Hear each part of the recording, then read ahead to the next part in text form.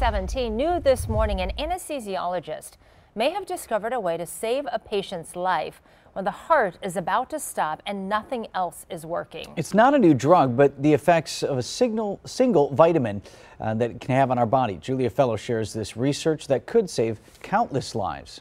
The discovery happened back in 2015 during open heart surgery.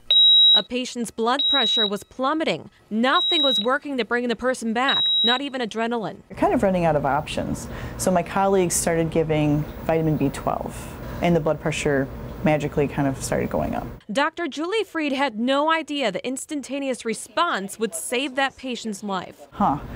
How is this possibly happening? Dr. Freed has been searching for that answer ever since at the Medical College of Wisconsin. When you started looking under the microscope and doing this, like, what were you thinking? It, it was almost hard to believe that, again, a simple vitamin could have this kind of effect. With one squeeze, she's going to show us how it works on this tiny human blood vessel. See how it's starting to respond? Oh, wow. and now it's getting smaller, smaller, smaller, smaller, smaller. A side effect of B12 is that it can increase blood pressure, which in this case is a good thing. Dr. Freed also found the vitamin can clean up something that appears when you're dying or have a bacterial infection, like sepsis. When tissue isn't getting enough oxygen, it could be releasing this compound hydrogen sulfide.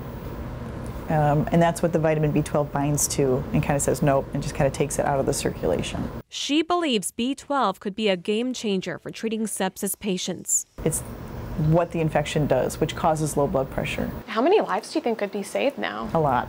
Dr. Freed was able to do this study through scholarships, and one of the biggest was $25,000 raised by the Steve Cullen Healthy Heart Club Run Walk, which is happening again next month. And I am one of those serving as honorary chair on behalf of today's TMJ4. You can sign up for the run by clicking on the story at tmj4.com. Julia Fello, today's TMJ4.